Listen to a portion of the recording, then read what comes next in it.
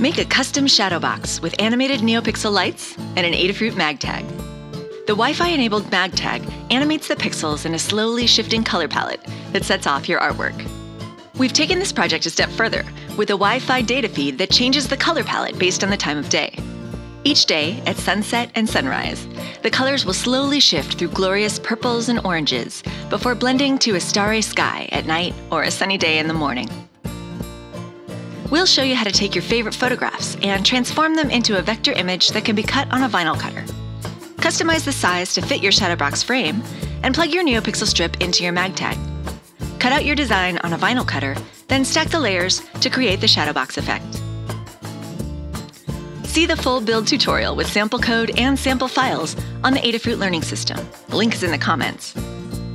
Thanks for watching, and remember to subscribe for more fun Adafruit projects.